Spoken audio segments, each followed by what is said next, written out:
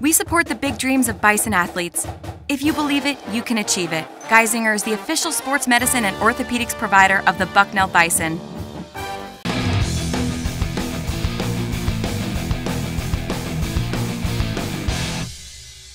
Today, we're in the herd with baseball. After facing some tough non league competition, Coach Scott Heathers says that the goal of his team's non league campaign was to try to help him and his assistant coaches learn more about his squad. Uh, I think offensively we showed uh, we can we can put up some runs and we have a lot of options there, a lot of good players and, and guys are producing. It's tough to, to make out the lineup a, a lot of times just because we got a lot of options to, to go with and and uh, that's been nice. He says that unfortunately his pitching staff is a little banged up, but his team is still going to play hard. We got to challenge the strike zone a little bit more and, and uh, you know rely on our defense a little bit. And I think our defense needs to step up to that challenge and and uh, and produce you know when the ball's hit. So looking forward to seeing how that you know develops for our guys and and kind of settling into those roles.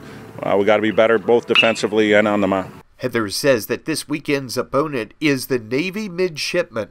Um, new coaching staff, uh, at least the head coach, they still retain two assistants and, and a lot of the same guys. So you know we have some familiarity there, and and um, you know they're competitive top top to bottom in their lineup. They're going to come at us with you know with everything they have and, and never give in, and you know that's always a challenge when you when you play Navy.